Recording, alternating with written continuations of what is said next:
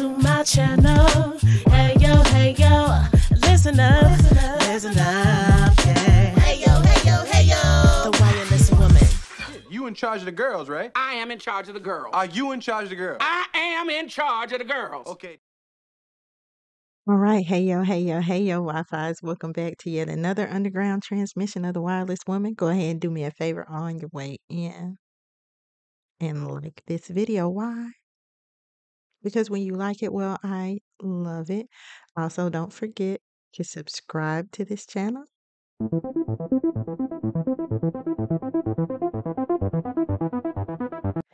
And to click the notification bell so that you will be notified whenever I upload new content and when I go live. I just went live tonight. And most of y'all must have missed it because you wasn't there. But you can catch the replay. But I don't want you to catch the replay. I want you to be there to interact with me, to tell me what you think about what I said. Tell me what you think about what we're talking about. Hey, I may even send, put a link in the chat and pull you on up if you're interested in it. So you need to be there. You should be there. I mean, especially if I'm going to come on the camera looking like this. I mean, I did a little something for you all, a little something. But I mean, I, I was here for you. So, you know, click that notification bell so you can be there for me. This is what we're building as a community. All right, so I still have my wireless and live up. Wanted to take a moment out, and hopefully this will be a short one. Hopefully this will be one of them short episodes. I've been trying to work on getting my episodes down to 12 15 minutes, but they're just so many things a woman like me can say. Hmm. Hmm. About not taking your mother's dating advice. Okay? We're not going to be able to listen to our moms about this one. And we love them. We love them. They can give us cooking advice, and they should. They can give us marriage advice if they've got a good one, you know. But dating advice, oh, it's like asking my mom how to work apps in an iPhone. Okay. You ask me that, I can't help you. So clearly, my mom's not going to be able to help you download an app and use it correctly in a phone. Hmm, She's got a flip phone. So there are just certain things that have evolved, that have changed. The technology has changed the dating world in an irrevocable way. And you can't be listening to your mom about dating advice, okay?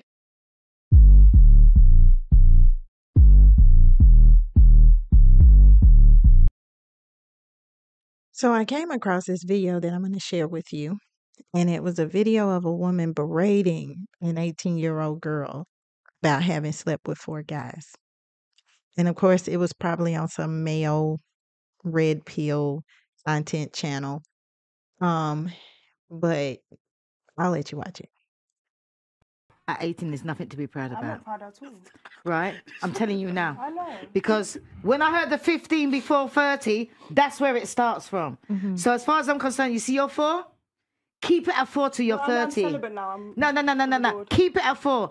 Don't be going out on no dates and winding up the guys. Don't be going out and saying oh i'm gonna go to you just in case Right, because if I was a man and I took you out and you're not freeing it up, I'm going to feel offended. Especially if you're not going to go out for a, a date to look for, forward to having a, a relationship. So you see, you're four. I want to hear from you that in five years' time, it's still four. Unless you got a ring on your finger. In ten years' time, that is still four. Unless you got your finger on your, a ring on your finger, I was- right? I was and so- take don't shut up. Take advice from an older woman that four but eighteen is nothing to be talking about. I've never seen anyone be shamed out of doing the wrong thing. As a matter of fact, I've seen people put more shame on doing the right thing than the wrong thing. But I think it's interesting that in a time like this, where you can have food delivered to your house, where you can meet the acquaintance of a thousand people in your city in a day, that we as women are still being held to archaic opinions of body count. And I'm going to tell you why first. I think this is archaic and ridiculous. Because even if you are a woman who's only been with one or two men in your lifetime, as if that's not grooming, you as a woman are a receiver. So any man that you interact with, you're not getting just him, you're getting his body count as well. He's bringing with him all the bodies, bodies on bodies on bodies. Keep on piling on bodies on bodies on bodies. that he has taken into his spirit and into his soul to deposit into yours. And when you have very little sexual experience, it can actually be inundating to deal with another man's bodies and sexual energy that he's brought to you. A lot of women think, and I'm just going to be as real as I know how because I already been wireless and live for an hour and some change. And I think I broke all the ice off. So we're, we're ready to go now. It's a lot of women that think a man's sex is amazing when it's really not. It's just his sexual energy. Because as soon as the spell that he put on you is broken, you'd be like, um, was it always this bad? Yeah, a lot of the sexcapades, mm. the a lot of the sexual energy we think we're getting from these men is just the powered up version, the killmonger version of all the souls that they have actually taken off of other women. Is this your game? Huh? Because as soon as you break your soul tie with them, you start being like, this was pretty basic. But they're coming in the energy, mm-hmm. of the fifth and sixth and seventh power, being whores themselves. Okay. And like I said, that's not to say if you can't beat them, you just join them. I do believe women have to be very, very selective with what they do with their bodies, minds, souls, and their energy. Very selective. But I do think that with experience comes wisdom. You know, the Bible talks about how Adam knew his wife. There's a knowledge of a woman or a man. And it was the tree of the knowledge of good and evil that tempted men above everything else. That knowledge, the knowing of you that people want to have when they want to have the sex, is intoxicating for people. And I think that a lot of people want women to be naive. And that's why they'll ask you things like body count, because that lets me know what level of experience you have. That lets me know whether or not you're going to think I'm the ultimate male or not. I've never had a man ask me that. I, I the only men who have asked me that have come across to me as being insecure men. But we've got to be real about the fact that there are groomers out here in the world that are grooming women to be miserable in relationships when that's totally impractical now. That's totally impractical when you look at the Danae Jackson, Derrick Jackson situation where you got this woman that's modest in the way that she dressed and you know even spoke herself about how she felt about her husband being in these other settings so she knew she knew he was having sex with other women. But she still stuck beside him. You know why? Because she was groomed to do that she was groomed to believe that him being sexually in- incontinent was not going to affect her. But when you read her writing, she talked about how those things played out in her mind. Those things came to mind when she was intimate with him because he bringing bodies back. Baby, you don't even know these women. You don't know what kind of energy they on. Now all of a sudden you in here spewing something crazy and you don't even know where it came from because he brought he brought you a renegade rogue soul back from Miami. There's somebody he don't even know. and now you got to deal with these like spirits drawing like spirits. Now you got a like spirit and you drawing some stuff. So I would always encourage women to be cognizant of their body, but not for the purpose of a body count, not for the purpose of, of keeping some type of score for someone else who really is just out there looking for a victim. I tell you not to take your mom's advice because unfortunately, a lot of these men that we're dealing with were raised by our moms. I didn't have a brother, but for girls and women who have brothers, they saw the difference in the advice that their brothers were given versus what they were given. The difference in the expectation the brother was given, cut the grass, take out the trash, versus what the daughter was given, cook, clean, wash, take care of your brother. You- Baby, they know the disparity. And these were the same women. So you really trust a woman, even if she is your mom, they could raise that type of man. Like we're dealing with we're dealing with the fallout from their stuff right now. And what your mom and mammies, women who put themselves in that position to cape for these men, don't seem to understand about the difference between because it, it's a weird dichotomy to be in. You have men saying things were better back in the day when women were at home, when women didn't work, when women didn't think they were independent, blah blah blah. But then on the flip side of it, when women were at home and they didn't work, where did you find them? You actually had to pick a woman, court a woman, call a woman, take a woman out, pay for the woman, pay all her bills. Like you got to want both. You can't pick and choose. you got to be able to do both. But here's the thing your mother wasn't in competition with women in Belize for a man. So when they talked about the things that you should do to keep your man, the things that make your man happy, having unconsensual sex in a marriage because that was your duty, because even though you might have things going on with you and you might have had a bad day, you still cook for your man. You are not there to have your feelings, needs, thoughts, desires, wants catered to. You were born, you exist, you were created, you live to bring peace, harmony, provision, protection to your man's life. Okay, you are his shield from a cruel, evil, unaccepting world. He comes home to you. But what's crazy is when you listen to the 1971 conversation between James Baldwin and um and Nikki Giovanni, you hear her saying that I hate white people, but I'm afraid of black men.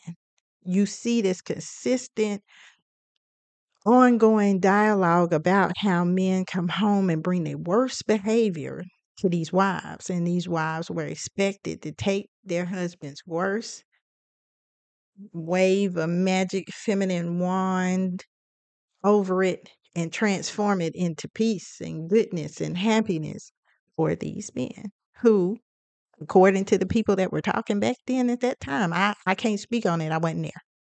But they were. And according to them, you could do all that and he could probably walk out anyway. I mean, with even without being there, we see it right now. You know, we, we see it with the Derrick Jacksons of the world. We see it with the TJ Holmes of the world, where you did your thing as a wife and they were like, ah, yeah. I mean, we haven't heard a complaint from any of these men. She doesn't take care of the kids. She doesn't take care of me. She doesn't take care of the house. She wants too much. She nags. She we haven't heard it. That's not to say it hadn't happened because I know there's some man waiting to get down in my comments, you know, the wet his top off of being able to tell you, don't know what's going on nobody else. And you don't know either. All we can go by is what these folks said. And they didn't have a complaint for their wives on the anniversaries.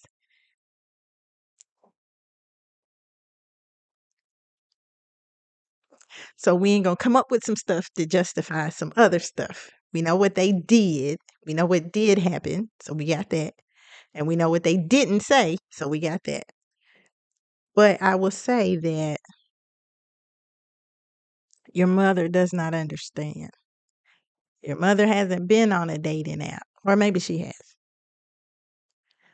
But the access that men now have to women has completely changed the game. And the same reason why men want women who are inexperienced, men want women who are dependent, who are submissive and docile. It's the same reason why men want women who are young, women who have not dealt with trauma.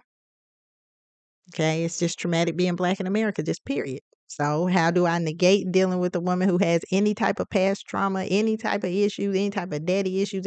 Is to not go to my community and get her. Let me get an Asian woman. Let me get a white woman. The likelihood that they have been untouched by trauma is greater, and therefore I want them. Okay, I want you. We have to understand that this is a grooming process. And if you listen, I had come across a video that was talking about some writing of Christopher Columbus or something. I don't know. If you read the Willie Lynch papers, if you read all of this paperwork that people left behind from pre colonial days, that's what they said about the people that they encountered that these people were friendly, that these people were trusting, that they were kind. So let's take their land. Oh, it would only take 50 of us to come in here and subjugate them and, and take what's theirs and take what they have. No one who actually loves you, who desires to be your equal, to treat you as an equal, needs you to be inferior than them in any way. Whether that be your body count, whether that be the amount of money that you make. Because, see, here's the thing we as women know and understand, which is why these relationship dynamics have been so disheartening for us. I might be making more money than you now but one day I might not be. The same way I don't want you loving me for the amount of money I bring to the table. I don't want to love you for that. I want to build with you. And if building with you makes more sense that I'm at home because the work that you do, the amount of work that you do, your ability to provide for us allows me to be at home and that makes me of the greatest benefit to you, then that's what we do. Even in my derelict, broke down, broke ass first marriage, there came a point over the course of those five, six years where my first ex husband got a job and he was making more money than me and he was making good money. And the decision was made because we had small children that I should be at home. Now, me being me, I didn't feel comfortable not working at all even though it was an option. I worked from like 12 to 6, 2 to 7. I worked from 2 to 7 weekday mornings, uh, dispatching at a little, uh, little local uh, police station. It was for CMS schools. It was a school police station. And um, you know, I made a few coins at the end of the week. I had my own money. If there was something that was short in a bill, I could pick it up. You know, that that just felt more comfortable for me. But it allowed me to be at home during the day with my kids, and I was good at home. Not every woman is good at home. If you want a home woman, you got to pick you a woman that's good at home because not every woman is good at home. And I was good at home for a season because, baby, if you put me at home right now, the food ain't gonna be cooked. The socks ain't gonna be folded when you get home. It just ain't. I'm gonna be done watched as the world turns reruns. Ate some bonbons. I'm just too tired for that now. The I'm of the greatest use to my family, to my culture, to my man on somebody's job or farm, doing some kind of work. That's just where I am in my life. But at that time, I was good at home. We had a menu every week.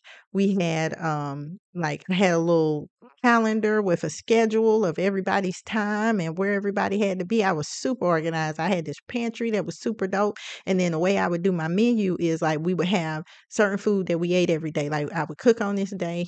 I would cook one meal on this day. Then I would cook a different meal on this day. It would be like dinner this day and then I would cook lunch the next day and then we would eat the same dinner on the next day. Then the next day I would cook the next dinner. Like I, I had a program for it. And then when we got to the end of the week, I would go through the refrigerator and everything I didn't touch, everything I didn't cook, I would go through the pantry and then I would create a new menu based on some of the stuff we already had at the end of the week. So that way we wasn't buying all new stuff. So it was economic and it, it, and, and and it was functional. I mean, I, I had a system, baby. I was on top of it, and that was what he needed in order to be able to work at that level. And then one day he came home and he had lost that job, and that whole way of life for us changed. You don't marry, and this is marriage advice, not dating advice. You don't marry the person that has everything right now. You marry the person that you could be with if they did have everything and if they didn't. Sometimes you marry people when they got everything. Maybe they lose that job or they lose that limb and you got a whole different creature. That's what these partnerships are supposed to be about. They're supposed to be about learning how to win and who you can win with. Real good quarterbacks know who they need on their team. That's the reason why they kicked Steve Smith off of the Panthers because they had uh, Cam Newton saying, you know, people are following him, people are listening to him. It's destabilizing my leadership. That's why they got rid of Shaq when they had Kobe. You gotta know who your franchise player is. You gotta know what type of team you need to put together to win. I'm not saying that no man needs a submissive woman. Some men really need that in order for them to lead their household. You know, that's on them. My man, he ain't gonna have that. You know, whatever man choose me, we gonna share dominion. We gonna be powerful together. We gonna be a power couple. We gonna be Jay Z and Beyonce. I got mine too. And that man will be able to lead in concert with me because that's who he is as a man because he understands that and that's what he desires that's what he likes and what he wants. All this blanket this is how you get a man. I know you're wondering where this topic came from. I was that video but i was also having a conversation with my mom because i had been dating a guy and she was like well what happened to that guy? And she always does. And i was like you know we just couldn't see eye to eye on things and she asked me for an example and i gave her a couple of examples and she said see that's where you're going wrong See, you're going wrong because you got to make a man feel like he could see that right there. It's manipulative. It's a false pretense. And as soon as I get into a relationship with that man, I'm going to change because that's not really who I am. For our moms, the goal was getting a man. It was getting a relationship. Like you won if you got the man because he was going to stay. You know, you talk about women you know, he was gonna stay. Who else was he gonna meet? Barbara down the street, Gina at the mill that he worked with. These men didn't have a whole lot of options either. You was probably their best bet. You know, out of what they could have got. But now they can go to Barbados or whatever. Belize or I don't know, Costa Rica. Like, I don't know. I don't know where they go. I don't know. I just, it's weird. I've been having conversations with women. They be like, you know, in other countries, the women treat us so good. Okay.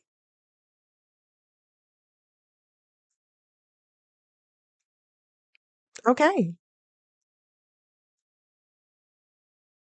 But you're not bringing back somebody that's going to help you build generational wealth for your community. You're not you're not building your community with this. I don't have no problem with it. Do whatever you like, whatever makes you happy. The problem is that when it don't make you happy and then you own, you know, uh, platforms hollering and yelling about how you got taken, you know, I mean we eh, anyway, I digress.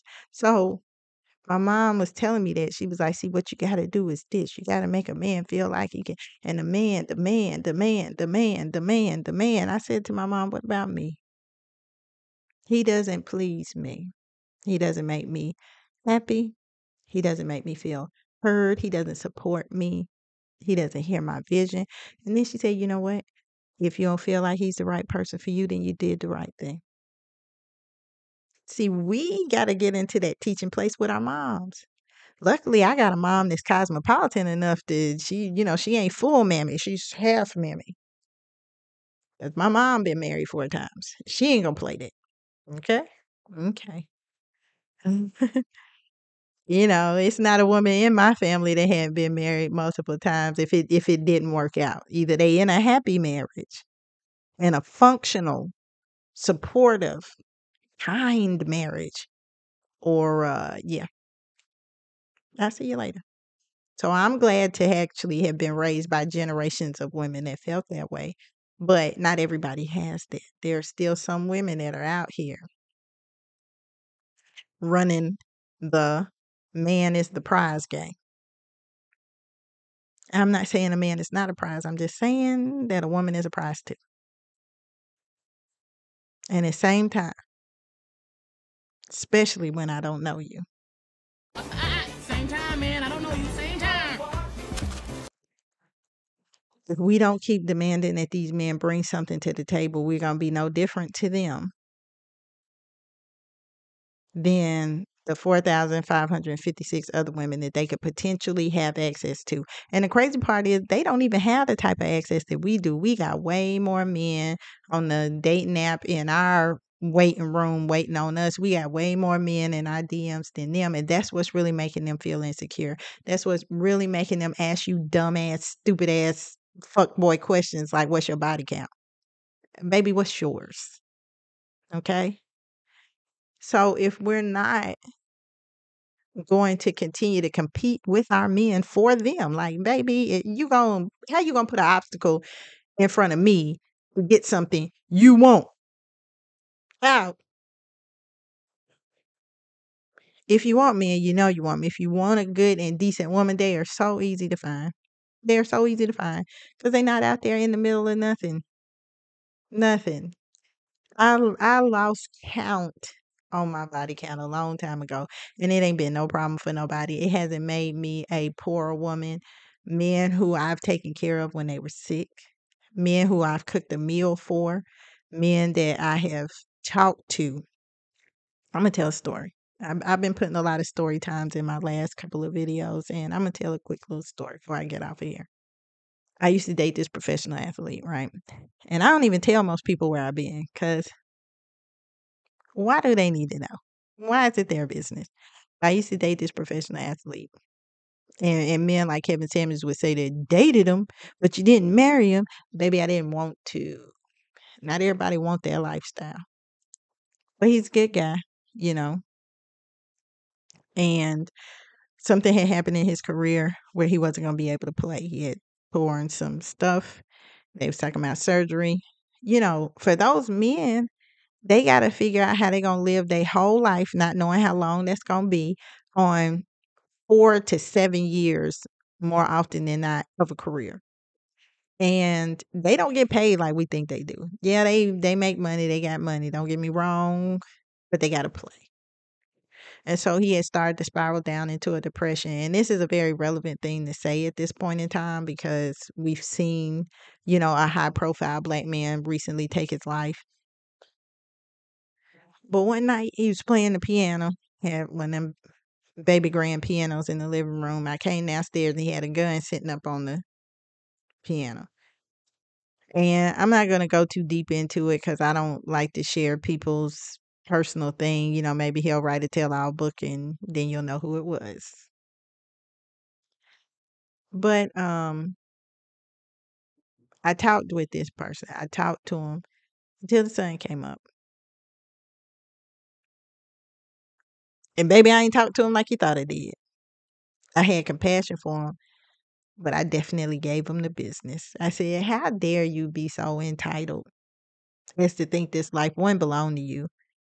How dare you be so ungrateful that a gift you were given, that if it's taken away, all of a sudden you feel like your life don't have purpose. This was given to you to give you the opportunity to find out who you are, and this is who you are. Now you know. Now you can do something about it. Now you can change. Like I really gave him the business. And we talked, you know, we talked about a lot of things. I was there for him in a dark time. And then when the sun came all the way up, I said, listen, I'm hungry. Let me cook you something to eat. And that's what I did. I cooked him something to eat. And then I went home and changed my phone number. But that's not the point. My point in what I'm saying is The higher up these men get, the more fragile they are. And that's fine. There's nothing wrong with male fragility, but just understand that a feminine man makes a masculine woman. Don't judge us for who we have to be. If I hadn't, I I felt so uncomfortable being in that situation because even though me and that person were dating, it, it really wasn't that deep of an intimate relationship. If you've ever dated professional athletes, entertainers, professionals, period, you know how shallow ha, how shallow your relationships with them can be, you know, all about appearances and how people look and how you're received. And I found out early on I wasn't that girl. I would be at benefits with him talking and, and being interested in the room. He's like, bitch, did anybody tell you to talk? And I had more to me than just body, yada, yada, yada, yada, yada, yada, yada, yada, yada. Body yada yada yada yada yada yada yada yada yada yada. I had more than that. I had a mind, I had a brain, and I wanted to be respected and treated for that. So I wasn't gonna be that type of woman that could stand beside him. I wasn't gonna be the type of woman that was gonna see a man destroying his goddamn life and then make them something to eat. That wasn't gonna be me. So I quickly came out of that whole professional athlete, entertainer, dating type situation because I was fly enough to do it. Don't get it twisted up in the game. But there's more to those relationships than people think, more than money, more than what meets the eye. Mostly everybody that comes to them comes for super superficial reasons. You know, and I'm not a super superficial person. This video that was supposed to be in 15 minutes is now almost 30 because I got stuff to really say. I think deep thoughts, you know. I need a deep man. It's going to deep in more ways than one. But this ain't that type of show. My point in what I'm saying is don't let nobody reduce you down to them numbers. Don't let nobody reduce you down. The the way that woman talked to that young girl, I wish I had been there because I'm right in the middle. I can bridge that gap. I could cuss that old lady out. Don't don't make nobody feel no type of way for some stuff that your son doing. Oh, male identified women. Women, being a good woman is something that will naturally happen for you as you grow, as you age, if you choose the right thing for yourself. I promise. But see, you gonna learn to cook because you gonna need to eat better food because you need to take care of your finances and spending four hundred and ninety five dollars on fast food every week is just not gonna cut it. You know, you are not gonna deal with silly, immature fuck boys because they throw your pH balance off. These are things you gonna learn over time. I got a seventeen year old daughter.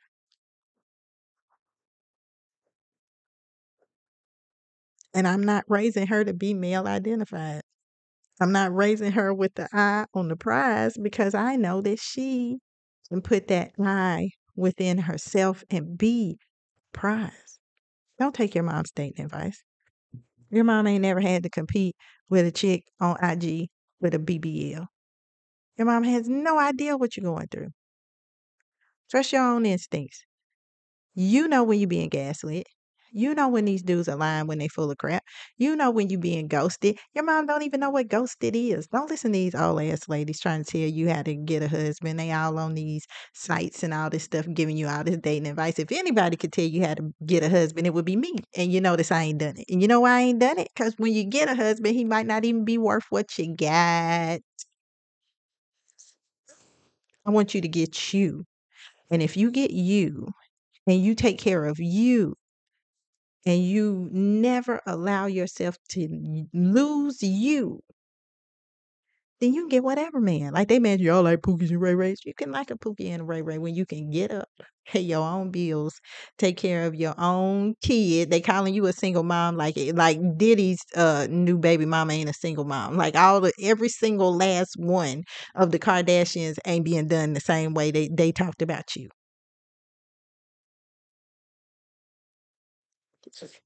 When everybody else done been everybody else done been made a baby mama by these folks, but somehow you was supposed to know how to choose better because your baby daddy wasn't rich. That's all. That's all you did. He was the same black man, but he wasn't rich. and they upset about it. But then they'll be the same ones to tell you if you pick a rich man that you need to give other men a chance. You can't be expecting to be with a rich man. Baby, you ain't gonna win. You ain't gonna win with these folks. So don't lose yourself. Okay? A win is still a win. And not losing yourself in this climate of dating and men is a win. So go ahead if you see what I see and you feel as I feel. But if you see what I see, if you feel as I feel, and if you would seek as I seek, Go ahead on and drop that fire headphones emoji in the comments. I look forward to engaging with you there. I got some new members, which I used to do uh, whenever I got new subscribers. I used to like announce their names and all that different stuff, but it's gotten to the point now where I can't see them. But I do see you. I see you, new subscribers, and I appreciate you. I see you subscribers that fell out. I know you unsubscribed, but you still watching. And I'm going to give you something to look at. In the meantime, y'all can go ahead and clock out for me. You are now. See you in the next one.